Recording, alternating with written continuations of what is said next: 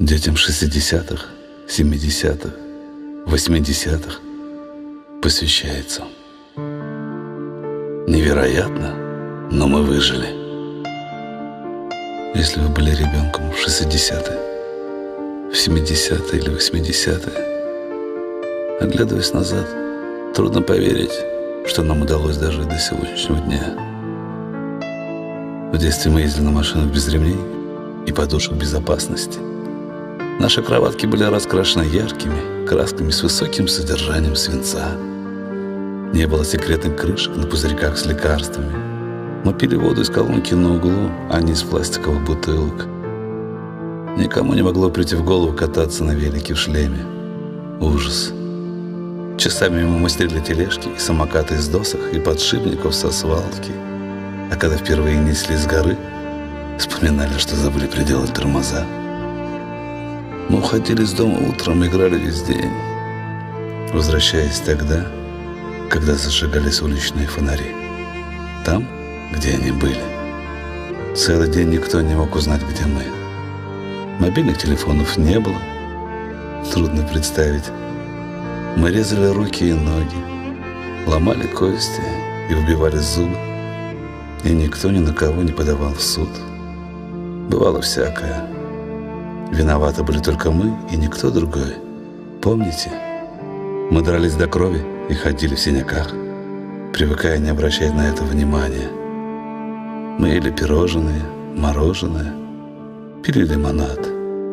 Но никто от этого не толстел, потому что мы все время носились и играли. Из одной бутылки пили несколько человек, и никто от этого не умер. У нас не было игровых приставок, компьютеров, 165 каналов спутникового телевидения, компакт-дисков, сотовых телефонов, интернета. Мы несли смотреть мультики всей толпой в ближайший дом. Зато у нас были друзья. Мы выходили из дома, находили их. Мы катались на великах, пускали спички по весенним ручьям – Сидели на лавочке, на заборе или в школьном дворе и болтали, о чем хотели. Когда нам был кто-то нужен, мы стучались в дверь, звонили в звонок или просто заходили и виделись с ними, помните? Без спроса, сами. Одни в жестоком и опасном мире. Без охраны. Как мы вообще выжили? Мы придумали игры с палками и с консервными банками. Мы воровали яблоки в садах и ели вишни с косточками. И косточки не прорастали у нас в животе. Наши поступки были нашими собственными. Мы были готовы к последствиям. Прятаться было не за кого. Понятие о том, что можно откупиться от ментов или откосить от армии, практически не существовало. Родители тех лет обычно принимали сторону закона. Можете себе представить? Это поколение породило огромное количество людей, которые могут рисковать, решать проблемы и создавать нечто, чего до этого не было, просто не существовало. У нас была свобода выбора, право на риск и неудачу, ответственность. И мы как-то просто научились пользоваться всем этим.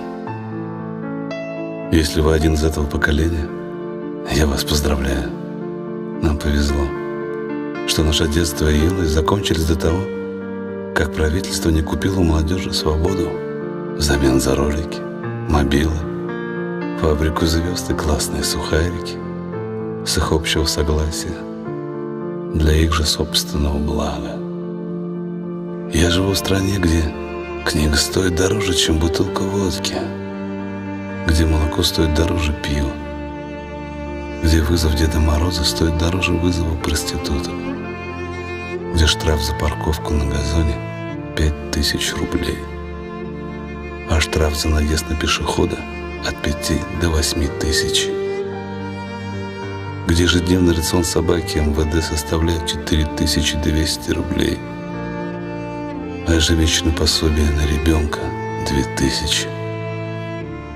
Где пицца и суши приезжает быстрее скорой помощи и полиции. Где за кражу сырка в супермаркете можно получить срок больше, чем за педофилию. Где в детский сад оформляют по очереди взятки. Где учебники покупают за свой счет.